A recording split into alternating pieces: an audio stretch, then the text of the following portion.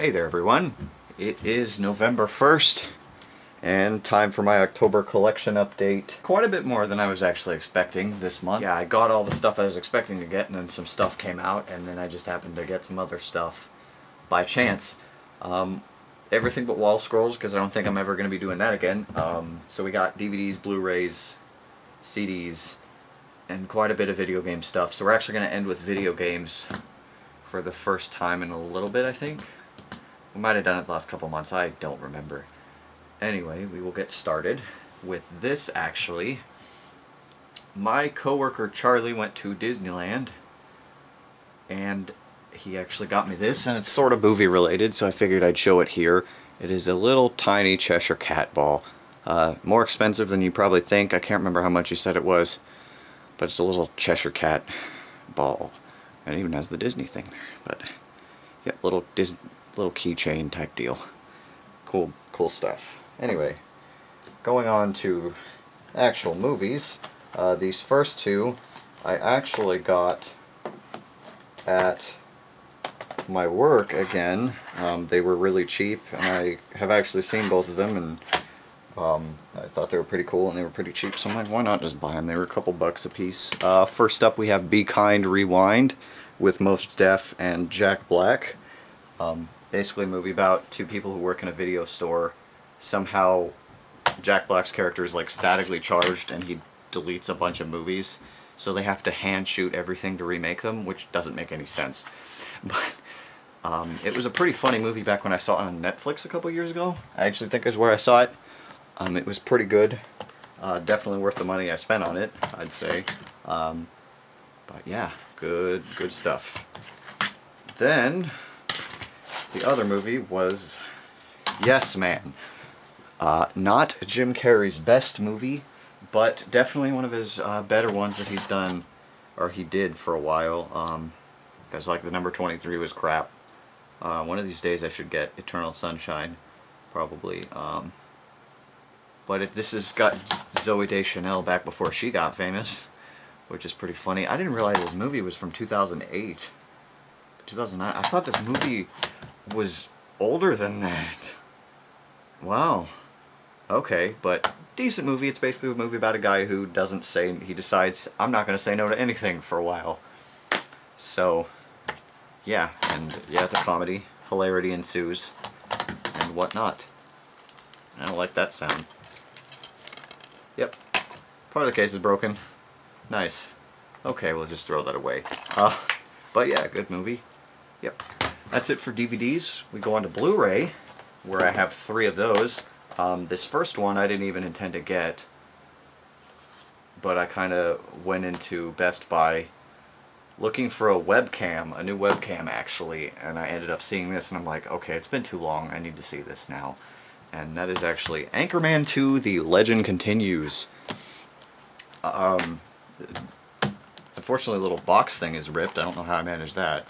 But on the back here, it, it says it includes a supersized R-rated version with 763 new jokes and 4 hours of special features. But I don't know if there's exactly that many, because I have... I did actually watch the unrated version and the R-rated version. Um, there's a difference, a lot of difference, um, but the ending's still the same. Um, I this movie is absolutely hilarious enough so that I could basically watch the same movie twice in, a, in like the span of a week.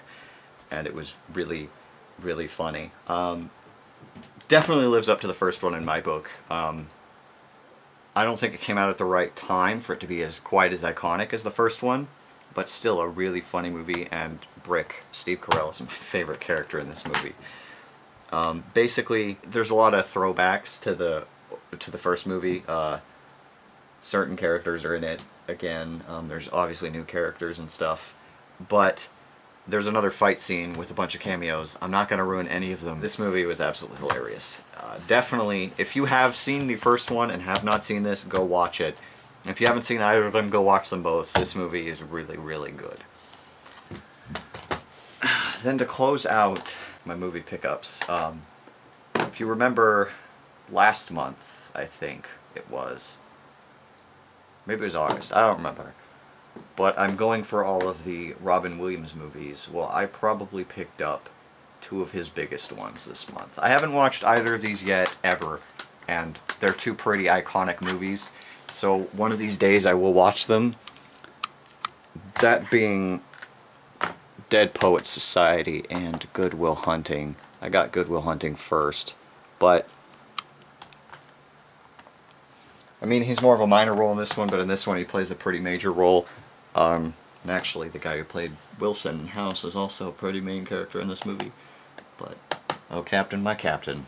Um, but yeah, um, I need to get around to watching these, because these are probably two of his most iconic roles. Um, yep, still looking into getting all of his important stuff. I made like a document on my computer of all of his movies that I wanted, and there's still quite a few on there. So eventually I'm slowly but surely whittling my way through. I don't know why I'm buying them on Blu-ray, that's the funny thing. I just end up doing it. I guess now that I have the PS3, I actually want to get Blu-rays, which sucks because all the DVDs I have.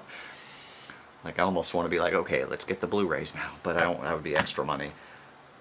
But, yeah, definitely, these are supposed to be absolutely amazing movies, so I will make it a point to watch these. Alright, that's it for Blu-rays and DVDs. We now move on to CDs. We have six of them this month. So, we will start off with... This is uh, Damnation Angels Bringer of Light. Zoom in a little bit. Okay. Um, this is actually one of the opening bands from Prog Power, not this year, but last year. Um, they didn't impress me live. They actually sounded terrible. Uh, I was told later, or I found out later, that that was one of their first times live, so I can't really blame them for that.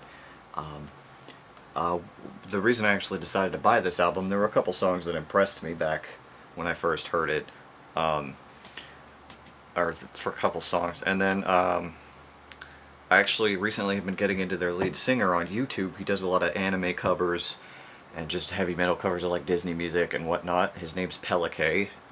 Uh, that's part of the reason I bought it. I need to get some of his stuff, but that's going to be hard. On Facebook, they actually just announced that they are working on a second album. I can't remember what it's called right now, so this is their only album right now.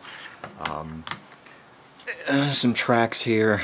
Uh, the Longest Day of My Life is really good, and Pride the Warrior's Way. And then they do a cover of No Leaf Clover, which is a live-only thing from Metallica, which is pretty interesting. So yeah, uh, power metal, plus their singer can go frickin' high. Gonna be fun to listen to. Then we have... This is Delain, We Are the Others. This isn't their newest album, it's actually the one before their newest one, because they just had another one come out this year, but I had this one on the list, so I bought it.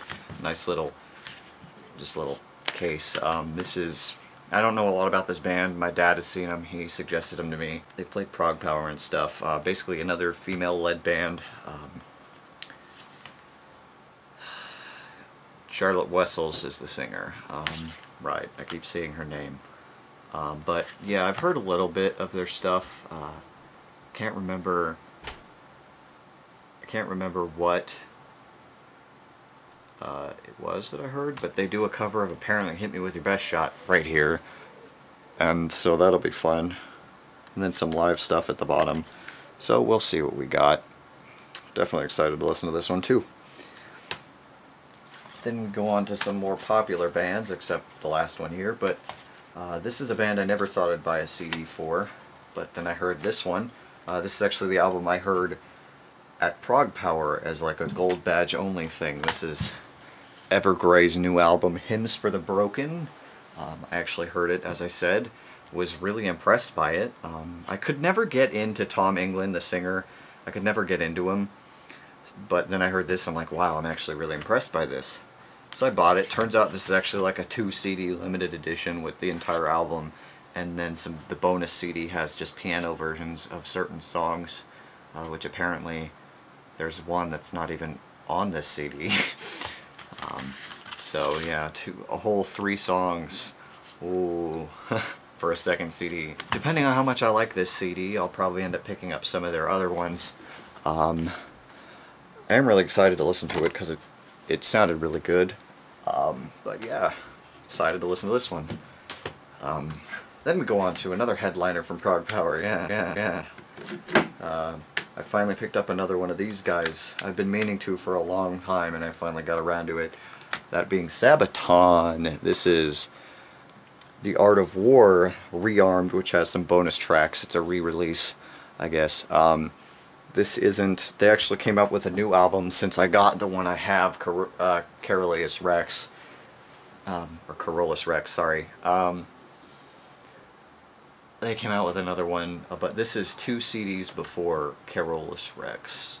Um, the only reason I bought this one is because it was A on the list when I originally listed this band, but it has Ghost Division, which is what they opened with when I saw them last year at Prague ProgPower, and then Art of War is good, 40 to 1, Cl Cliffs of Gallipoli, Price of a Mile. Yeah, I've heard a lot of these songs, and then there's the bonuses or some pre-production demos, a live track, and Swedish Pig, uh, just a bunch of bonus tracks, but I really like Sabaton. Um, so I'm definitely excited to listen to this as well. Definitely, definitely excited. Going to be fun. Then we go on to uh, the sequel to a CD, or prequel technically, to a CD I really liked that I listened to last year. This is the second Avalon CD, Timo Tolkki's Avalon, Angels of the Apocalypse. Um, it's uh, pre technically a prequel to the first one, even though it's newer. Um, I love the artwork, though. I mean, look at this artwork. so nice. Um, um, I, I've listened to bits and pieces. It doesn't sound quite as good, but it's supposed to be heavier than the first one. So, yeah, it's Timo Tolkki. I mean, Stratovarius. But, um, this this CD has Fabio Lione from Rhapsody of Fire and Angra that I found out recently uh, Floor Jansen, the newest singer for Nightwish, and After Forever, I believe is what she was also from. Uh, Zak Stevens, ex-Savatage and singer of Circle to Circle. Uh, Simone Sim Simons and Elize Ryd. Yeah, it's, it's going to be insane when I finally get around to this CD, but definitely excited to listen to this. And it's different than the other one. It's not a jewel case, it's a little booklet thing, but hey, what do you do? And then last but certainly not least, the only reason this one is last is the fact that I, one, did not expect to get another CD from this band quite this soon, and for as cheap as I did. That being Poets of the Fall. This is their brand new album that just came out, Jealous Gods. Um, basically the cheapest place most of the time to buy their CDs because they're from, uh, God, like Sweden or Norway or something, somewhere in the Norse area. Um, Finland. They're from Finland. I'm stupid. Anyway, um, same thing. But uh, most of the time the cheapest place to get their CDs are from their website and it's still like over $20 because it's in euros. but I was able to find this CD for relatively cheap on Amazon, like less than $20 total. So I picked it up in a heartbeat. I have actually heard the very first song, Days Here. It was pretty good. Um, but I have another friggin' Poets of the Fall CD. Are you kidding me? this is going to be fun to listen to. Definitely, definitely. We'll see. Poets of the. Okay. That is it for CDs. We now go on to video games to finish this up. Um, first of all, I did get a game on Steam because it's actually this month, this last month was my birthday.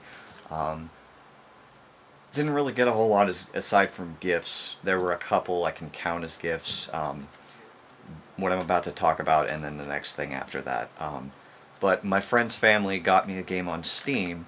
They actually got me South Park: The Stick of Truth. Um, I played the game for about three, two or three days, um, and it was fun. It is a freaking fun game, and it's surprisingly entertaining. Um, unfortunately, I got myself stuck because I think I tried to play the game too fast or something and I got stuck in a part where I can't leave so I have to start over and then I just stopped playing because I didn't really feel like doing that. Uh, I will get back to it because that game was really really fun and it's a lot of fun to play. And, I mean one of the classes you can be as a Jew and that's messed up but still hilarious. but great, cannot wait to play that again. Then we go on to physical copies of games that I got. Um, quite a few retro games this month, I'm actually surprised. Paid for none of them, though. So, we will see. Uh, or we will see. I'll show you. Um, these first three are NES games. I got them from my girlfriend, and she got them from a friend of hers, and she said, consider these your birthday slash Christmas presents. I'm like, okay. I wasn't expecting much, but boy was I surprised. Um, if you've seen the most recent package from my girlfriend video, then you know what these are already. But um, my NES is being a little finicky, but I guess they're always finicky. Um, so this first one doesn't work, but the other ones I got to work eventually. Uh, first up we have Monopoly. Um, I don't even know what to expect from this game because it's the only one that doesn't work, but it's a game that ruins friendships. That's what I will always call Monopoly. I don't know what the point of having it on the NES is. I mean, I already have the board game, so I don't really see what the point is, you know? But hey, free game cannot argue with that. Next, we have, and well, really, these next two actually really surprised me when I pulled them out of the box. Um, that being the first one, Dr. Mario, a pretty quirky little puzzle game, pretty famous. Not a lot of explaining, just pills, match colors, kill stuff, kill viruses. I was really surprised when I got this one, because it's at the top of my list, this and the next one, for NES games. So, I have so many NES games that I wanted already. It's hilarious how quickly I was able to get them compared to other systems. But definitely excited to have this one as well. And finally, and certainly not least, Mario Brothers Duck Hunt combo cart. Um, I have Mario 2 and Mario 3. I do not have a light gun for the record. I'm going to now though. But I do. I was looking for the original Mario Brothers. I was originally trying to just get the single cart of Mario Brothers, but this helps. This helps a lot. I mean, I have all the Mario games, the originals, and All Stars on Super Nintendo, which is kind of funny. But yeah, Mario Brothers Duck Hunt, I, I cannot complain about that. Can't complain at all. And they're all in really good condition, which is surprising. Then we go on to Super Nintendo. Yes. If you remember in last month's collection update, I might have mentioned that I had a package from my girlfriend's friend coming in the mail um, that I knew what they were, and it was a copy of, well, Championship Edition. Yeah, actually, I did talk about what they were. Um, these being those games, we have the original NBA Jam here on the left, and NBA Jam Championship Edition, Tournament Edition, I'm sorry. But yes, two different versions of the same game, except there's some different players and whatnot, so it's... I prefer probably the original, because that's the one I played the arcade version of in middle school. But yeah, definitely excited to have the original NBA Jam. Two different copies, why not? I got them for free, I can't complain. Um, yeah, Super Nintendo. NBA Jam is such a fun game, though. Like, it's like two buttons. Anybody, even people who don't like sports games, can play this. It's two buttons. Three buttons, really, actually, now I think about it. Block, pat, yeah, yeah, there's three. Okay, we go on to newer stuff now. Uh, two pre-orders came out this month. Well, technically more, but that's not the point. Two pre-orders that I was expecting to come out this month came out this month. Uh, I'm going to start with the handheld one, which is funny because I think it's a better game, probably.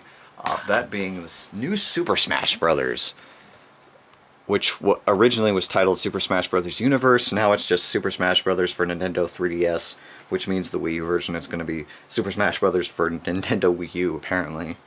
Um, I played a little bit of this game. I played the demo a little bit too. Um, I just I'm so I'm just so used to Smash Brothers being a multiplayer that with without people that have it easily ready, I just haven't played it enough. I have some people. Um, I mean, I've played it a little bit. It's just I don't quite know what to say. It's it works. I think it works quite well on the 3DS. It's just the Wii U version is going to be so much better, and I cannot wait for that. It comes out the same day as Omega Ruby and Alpha Sapphire, though, so I'm going to be getting all three of those on the same day plus the GameCube adapter and the special GameCube controller. Hint, hint of what's coming later.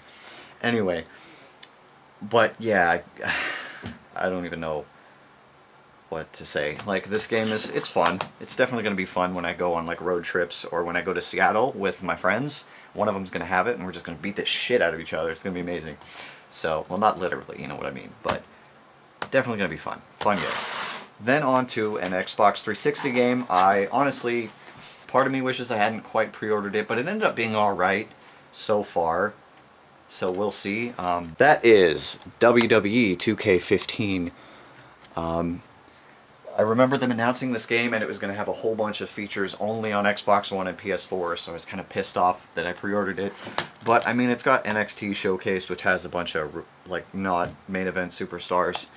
And then the 2K Showcase, which shows the Shawn Michaels Triple H feud and the John Cena and CM Punk feud, which is weird because CM Punk isn't in WWE anymore. But it's, it's... Uh, they also, another thing I can complain about is they got rid of the ability to create your own finisher, and that kind of makes me mad because that was the most fun thing to do when you created a person was give them their own finisher. How do you get rid of that, man? but no, it's it's pretty fun. I've played quite a bit of it now. Um, finished the Triple H Shawn Michaels feud part. I'm in the I'm cross doing the 2K or the uh, the the the NXT showcase part and the John Cena CM Punk feud thing. So it's pretty fun, and it feels a lot more smooth than 2K14 did. Um, it really does. They definitely did polish it out a little bit more. But good game. I'm I'm I'm okay with it. But we'll see. I'll play it more eventually. Alright, then we go on to the one of the surprise things. Well, the big surprise thing from this month. Um, I was not quite expecting these to come out because, you know, they seem to be for, you know, Super Smash Brothers. And then all of a sudden, oh, here's some controllers that you can use in in your in your games, but you can't use it until Smash Brothers comes out because the adapter doesn't come out until Smash Brothers comes out, which is just stupid to even release the... It's like, let's release some controllers before the game that, you know, is releasing the adapter for comes out. But, yeah, so I got a couple of, uh, well, GameCube controllers, but they're not labeled that on the box, as you soon will see. I am just peeling off a label because, A, I'm not opening these, and this will definitely ruin the, the value of the, of the thing inside. And it just looks tacky. Fortunately, I kind of have to ruin this box a little bit. Thanks, frickin' GameStop. But it is the special Mario character controllers, which apparently they have announced they're releasing other ones, I think. Um, I'm actually missing one of them, but I have it pre-ordered. Um, it's just Mario characters. We got Mario here, and then Yoshi here. I am missing Luigi. There's one more, but I originally just wanted Yoshi and Luigi, unfortunately, but they didn't have Luigi, so I just got the Mario, and then later I went back and I bought the Peach one, because it was the only other one I have. So pink, I just want to say that. Um, I originally was going to do an unboxing during this, but I don't think it's a smart idea to open any of these. And I have enough GameCube controllers, plus I'll use the Super Smash Brothers one probably. Um, fortunately, I had to ruin the box on the Peach one here a little bit. Um, but, uh, yeah, three of the four, and i I think I remember seeing somewhere that they're releasing like a Donkey Kong and a Zelda one, and I will pick those up in a heartbeat, the, the Zelda one. Um, but we shall see.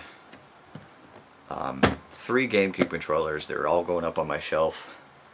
They're they're called wired fight pads, but it's a GameCube controller except with two extra buttons. It's a GameCube controller. I don't care what they say. but here's here's I'll give you a better look. This is the Peach one. Fortunately, none of them show Luigi, so I wonder if they like canceled it. This is Mario. Yeah. And then you got Yoshi. It's not quite as cool as you would expect. Yeah, it doesn't even show Luigi, so maybe that comes out later. But yeah, I I wanted to go for the ones that I didn't think people would want to get, so I went for Luigi and Yoshi, honestly. Um, but yeah, GameCube controllers, uh, yeah. Then we go on to something special. For the third month in a row, I have a Legend of Zelda little mascot dangler. Um, so if you remember, I've gotten Zelda here and this thingy. Um, so there's four left I need to get.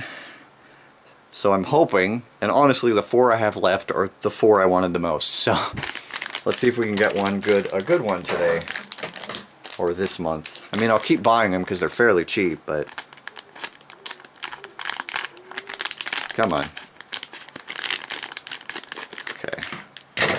There we go. It is the same fucking dude again. God damn it. Well, that's disappointing. I'm paying money for the same things over and over again. Why can't you just give me... I don't get it. There's four. St statistically, I should have gotten one of those. Because the chances of that are more... Is, oh, man. Oh well, Crystal looks like you get a little figurine. But that is it for my collection update for October of 2014. I will see you at the end of next month. Hopefully I'll have that Luigi controller. And they're, yeah, the Omega Ruby and Alpha Sapphire. Sorry, yeah. And then Super Smash for Wii U.